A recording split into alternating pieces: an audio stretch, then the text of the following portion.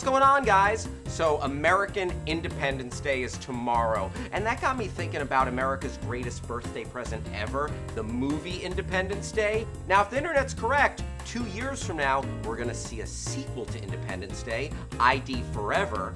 What do we want to see in a sequel to Independence Day? That brings us to our new segment, Dream Sequels, where we will conjure great ideas that Hollywood will never use. And we have an awesome panel to talk about our Dream Independence Day sequels. First, he's been with us a number of times before. Welcome back from Belated Media, Michael Barryte. Glad to be here, Hal. And uh, this man is one of the gentlemen behind one of the best film sites out there, Slash Film. Welcome, Germain Lussier. Thank you very much, Hal. So, from what we hear, we're expecting the sequel two years from now. So, let's take everything we know and flush it down the toilet for a second. Which And might be happening right now. We don't know. What do we want to see? What What's going to blow our minds? For starters, I'd like to just address what the poster should be Yes. and the tagline. Mm-hmm. It should be We thought we were free, we were wrong. Oops. Germain, what what, Well, what are if, you looking I was thinking about the a dream sequel. I kept thinking they can't do my real dream sequel, which is when you first saw the first movie. How do we rebuild? Since t- so much time has passed, we can't make that movie. Mm-hmm. So I came up with two crazy scenarios that I'd like to see. Okay. The first one is the less plausible one. We still have the alien spaceship. Let's go back and see what we can find out.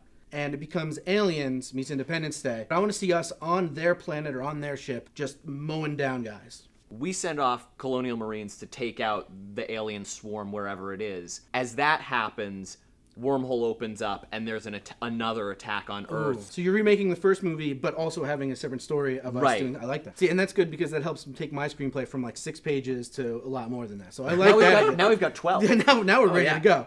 The other thought I had in conjunction with an alien sort of thing, the other idea I had was aliens show up and they more or less create a giant solar flare that wipes out all of the electricity on Earth. So we now need to be using analog technology uh-huh. just to make it a thing where we have like Minutemen sort of action of like militias and things like that. So it's really down and dirty, and you've got the world sort of in this weird panic where we're at our weakest. So I really like this idea of the uh, two storylines with the colonial marines on one battlefront, but then the aliens are attacking us on Earth again.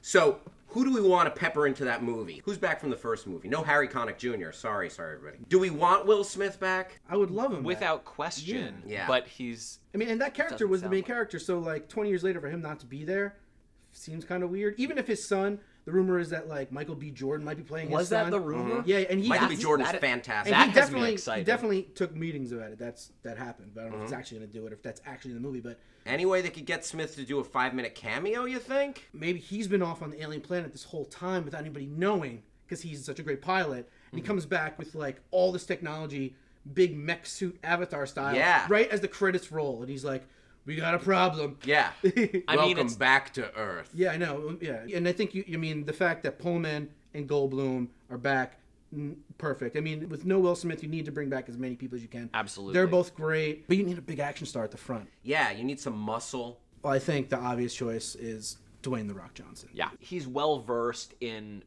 action and comedy, so he can play more or less the Will Smith role. You know, it might be kind of fun if, like, The Rock just played himself because we're living in this uh, post alien invasion world, and he's like, man, we're not making movies anymore. I guess I'm to have to kick ass for real. Yeah, right. That is interesting. It's like, do movies count anymore after the world's been decimated in Independence Day? Right? So, unless there have been some constitutional changes after the alien attack, Bill Pullman can't be president anymore. True. Um, so, who's president now? As much as I just want to recast aliens as this movie, Bill Paxton. Oh, that'll be really confusing with the Pullman accent thing.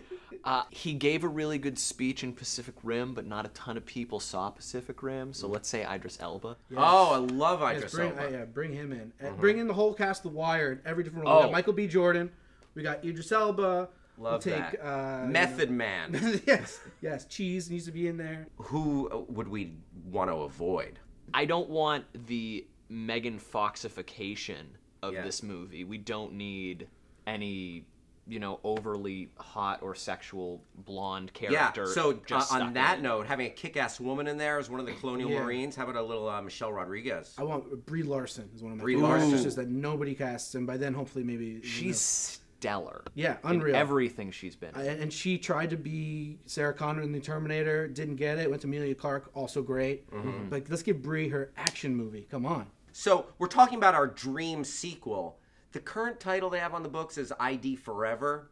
Meh, it's okay. But is there a new title that we like better? Is there a new holiday? Memorial Day could work, Yeah, I don't think we have a Memorial Day movie yet. or Veterans Day. Independence Mm-hmm. Day 2, Veterans Day. Independence Day 3, Memorial Day. Guys, I think we've really painted a great picture here. Just we, we have the actors, we have the title, Independence Day 2, Veterans Day. Fellas, wouldn't it be great if we could see the trailer for that movie? I can help with that. What? The voice of Honest Trailers, Jon Bailey, here in studio. Hi, hi, how? Hi, hi, Jon Bailey. So you'd be willing to help us? You bet your ass I will.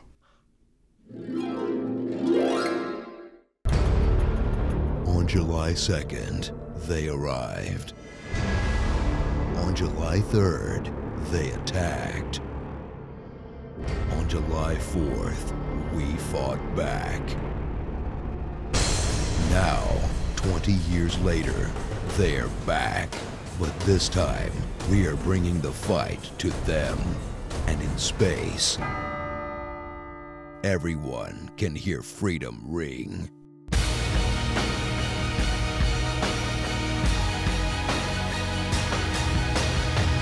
Lights go out on planet Earth, the fireworks begin. Jeff Goldblum, Bill Pullman, Bill Paxton, Michael B. Jordan, Idris Elba, Brie Larson, the cast of The Wire, featuring Will Smith and Dwayne The Rock Johnson as himself.